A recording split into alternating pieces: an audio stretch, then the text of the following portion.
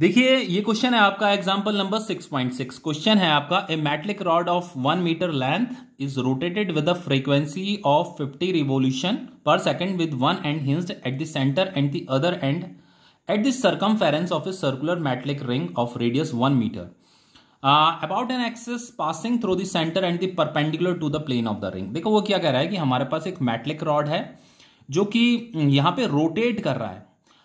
और वो जो रोटेट कर रहा है, उसकी फ्रीक्वेंसी हमें दे रही है फिफ्टी रिवोल्यूशन पर सेकंड तो कोई रॉड अगर रोटेट कर रहा है इस तरीके से तो उसका कुछ ना कुछ एंगुलर वेलोसिटी भी होगा। एंगुलर वेलोसिटी के लिए जो सिंबल होता है, वो ओमेगा होता है। तो ये जो एंगुलर वेलोसिटी है, इसका फॉर्मूला होता है टू पाई इंटू फ्रीक्वेंसी ये फ्रीक्वेंसी हमें दे रखी है उसकी, ठीक है? तो अब बच्चों, ये frequency fifty revolution per second दे रही है तो यहाँ पे ये पाई इंटू फिफ्टी हो जाएगा।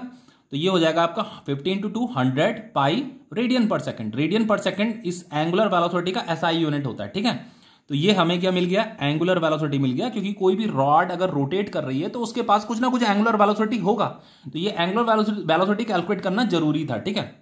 अब देखो, यहाँ पे क्या कह रहा था कि ये जो रॉड है बच्चों, यहाँ से हिंस्ड हो रखा है मतलब पाइवोटेड है, लेकिन वो फ्री टू रोटेट भी है। और इसका जो दूसरा वाला एंड है, वो इस सर्कुलर मैटलिक रिंग को टच कर रहा है, ठीक है? अब देखो, यहाँ पे इस सर्कुलर मैटलिक रिंग का जो रेडियस दे रखा है, वो दे रखा है आपका वन मीटर और इस रॉड का लेंथ भी आपका वन मीटर ही दे रखा है। और ये जो रॉड है, यहाँ पे मैग्नेटिक फ़ील्ड में क्या कर रहा है? रोटेट कर रहा है। और इस मैग्नेटिक फ़ील्ड को ऐसे काटते हुए जा रहा है। ठीक है? और यहाँ पे जो मैग्नेटिक फ़ील्ड है, बच्चों इनवर्ड है। इस प्लेन ये जो प्लेन ऑफ़ पेपर है ना, इस प्लेन ऑफ़ पेपर के परपेंडिकुलर है। ऐसे इनवर्ड है, अंदर की तरफ़। ऐसे। ठीक है? क्रॉस बना रखा है ना? क्रॉस का मतलब इनवर्ड ही होता है।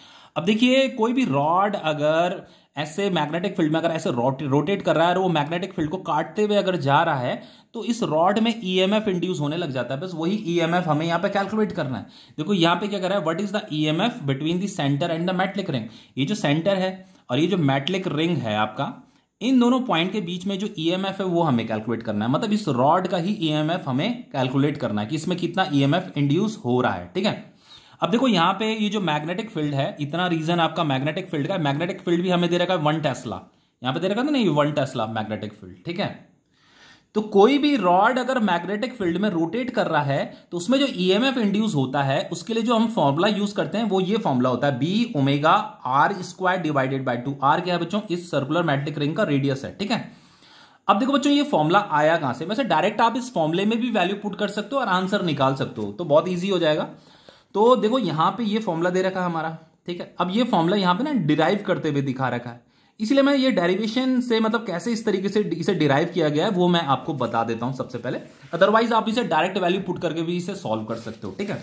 तो देखो, इसे समझने के लिए, देखो, मैंने यहाँ पे ये दो फिगर ले रखे हैं, ठीक है? ध्यान से देखिएगा इसे। फिर आपको कंफ्यूजन नहीं रहेगा। देखो बच्चों, जैसे ये रॉड है, इसका लेंथ कितना एल है, और ये वी वेलोसिटी से, ऐसे कांस्टेंट वेलोसिटी से ऐसे मूव कर रहा है, ठीक है? अब ये आपका, यहाँ पे मैग्नेटिक फ़ील्ड यहाँ पे क्रॉस बना रखा मतलब मैग्नेटिक फ़ील्ड इनवर्ड है।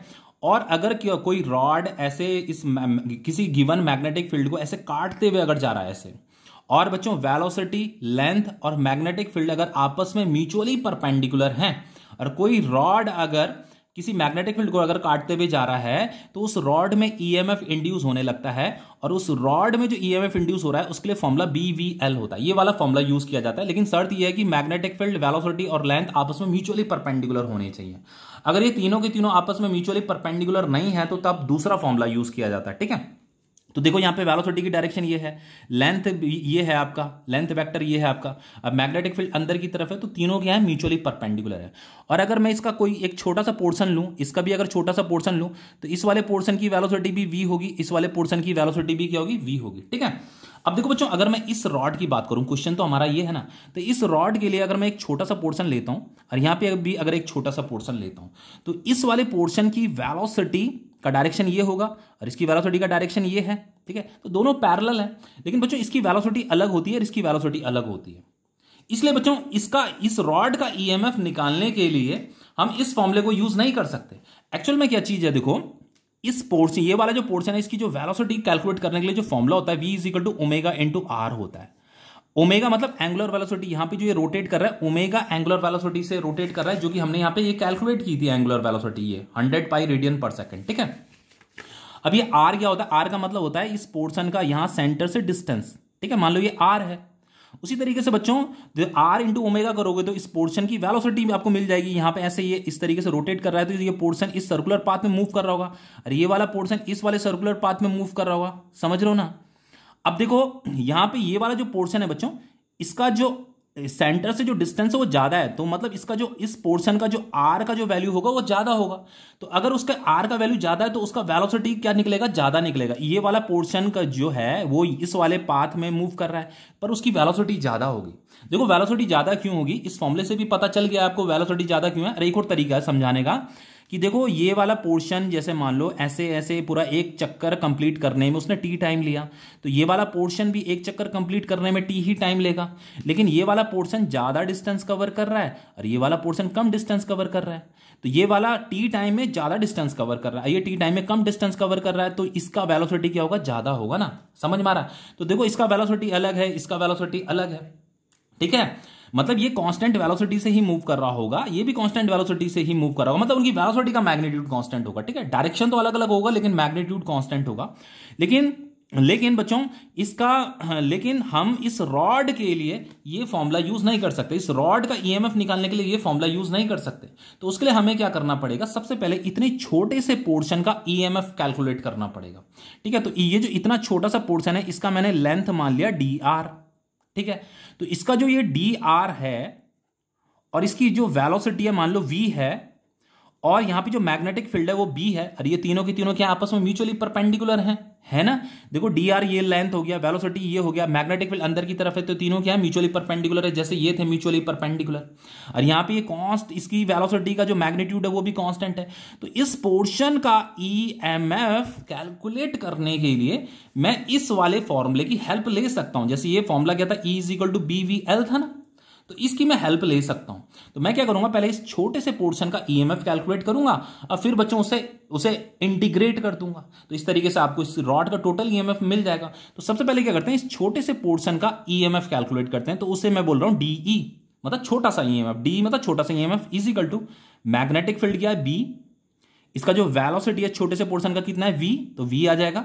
और इस छोटे से पोर्शन का जो लेंथ है, वो कितना है? डी आर है। लेंथ कितना है? डी आर है। इतना समझ में आ गया? तो D E is equal to हम लिखेंगे बी और वी इज़ इक्वल टू कितना होता है? ओमेगा इंटू आर ये वाला जो पोर्शन है, अभी आर डिस्टेंस पर ठीक है? तो यहाँ पे v इक्वल टू हो जाएगा आपका ओमेगा इंटू आर आई हो जाएगा आपका डी आर तो इसे क्या करो इंटीग्रेट कर दो। अब देखो बच्चों, ये जो आर है ना, ये कंटिन्यूसली चेंज हो रहा है। देखो, ये वाला जो पोर्शन है, ये तो आर डिस्टेंस पे लेकिन ये वाला जो पोर्शन होगा, उसका आर का वैल्यू कुछ और होगा। यहाँ पे अगर कोई दूसरा छोटा पोर्शन लेता हूँ तो उसका आर का वैल्यू क्या होगा? R equal to capital R होगा। और यहाँ पे अगर मैं छोटा सा पोर्शन लेता हूँ तो उसका आर का वैल्यू क्या होगा? आर इजिकल टू ज़ीरो होगा, क्योंकि वो सेंटर में ही लाई कर रहा होगा। तो यहाँ पे आर के लिए हम लिमिट लिखेंगे। R equal to zero to R equal to capital R बस यही लिखना है। अब देखो इंटीग्रेशन ऑफ़ डी क्या हो जाएगा? ये टोटल ईएमएफ मिल जाएगा हमें, ठीक है? इज़ इक्वल टू ये बी कांस्टेंट है एंगुलर वेलोसिटी भी कांस्टेंट है तो ये तो इंटीग्रेशन के बाहर आ जाएगा। तो यहाँ पे ये आपका आर डी आर रह जाएगा। R is equal to zero R is equal to capital R इतना आपको समझ में आ रहा होगा। तो E is equal to B omega और ये जो होता है आपका इंटीग्रेशन आर डी आर जो होता है, इसका जो फॉर्मूला होता है बच्चों, वो होता है आपका R square divided by two ठीक है? तो यहाँ पे आ जाएगा आपका R square divided by two और यहाँ पे ये R is equal to zero भी आएगा, और यहाँ पे आर इज़ इक्वल टू ये कैपिटल आर भी आएगा। तो E is equal to B omega small R की जगह में कैपिटल आर लिखिए डिवाइडेड बाय टू फिर माइनस आएगा।